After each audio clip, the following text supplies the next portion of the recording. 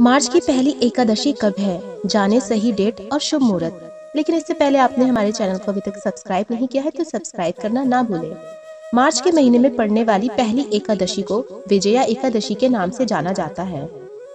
विजया एकादशी फागुन मास के कृष्ण पक्ष की एकादशी तिथि को मनाई जाती है।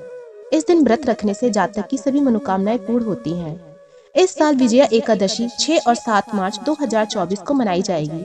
पंचांग के अनुसार 6 मार्च के दिन सुबह छह बजकर तीस मिनट से एकादशी तिथि शुरुआत होगी, जो 7 मार्च के दिन सुबह चार बजकर तेरह मिनट तक रहेगा। गृहस्थ लोग 6 मार्च के दिन विजया एकादशी का व्रत रखेंगे और वहीं सन्यासी और मोक्ष प्राप्ति के इच्छुक श्रद्धालु 7 मार्च को एकादशी का व्रत रखेंगे।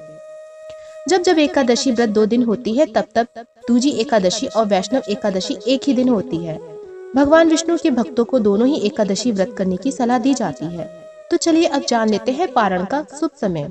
सात मार्च को पारण, यानी कि व्रत तोड़ने का समय होगा, दोपहर के एक बजकर अट्ठाईस मिनट से तीन बजकर उनचास मिनट तक। और वहीं वैष्णव, यानी कि सन्यासी और मोक्ष प्राप्ति के इच्छुक श्रद्धालुओं के लिए पारण का समय होगा 8 मार्च को, सुबह छह बजकर तेईस मिनट से आठ बजकर पैतालीस मिनट तक रहेगा। तो आप सबको ये जानकारी कैसी लगी, हमें कमेंट बॉक्स में बताएँ। और हमारे चैनल को लाइक, शेयर और सब्सक्राइब करना ना भूलें। जय श्री कृष्णा।